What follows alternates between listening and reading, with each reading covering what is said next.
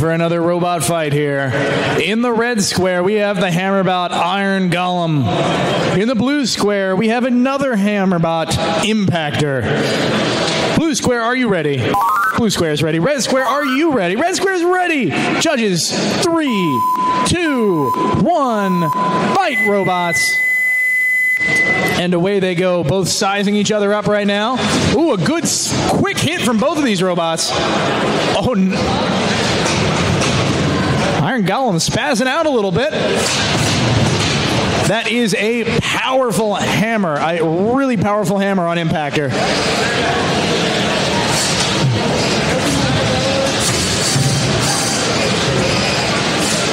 Two robots grappling a bit. I hear some unhappy noises from Impactor.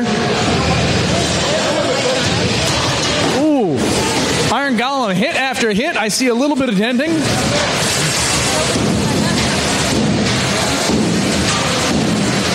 Oh, goodness. It seems like uh, Impactor may have a motor issue with its weapon. Iron Golem going to take full advantage of that.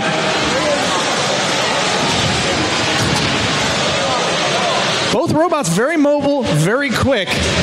This is just going to come down to how well the drivers can time their weapon hits and what kind of lovely, squishy robot bits they can hit. Both robots armored pretty well, though, so it's going to take a really lucky shot for either to do much damage. Oh, there's a good hit there.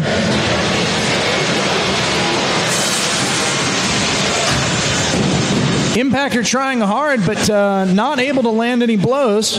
Iron Golem, on the other hand, blow after blow.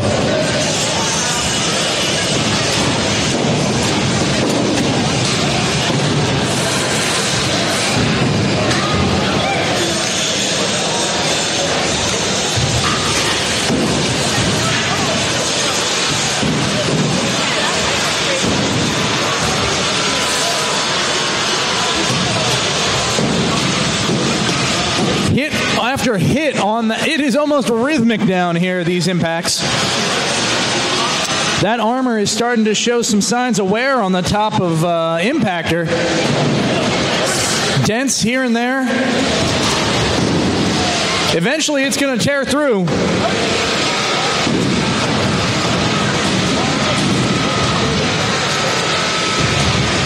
Forty seconds left in this match.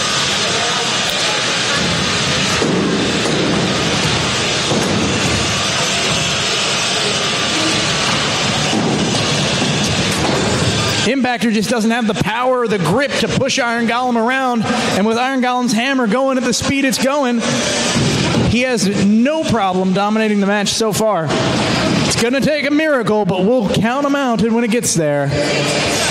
10, 9, 8, 7, 6, 5, 4, 3, 2, 1.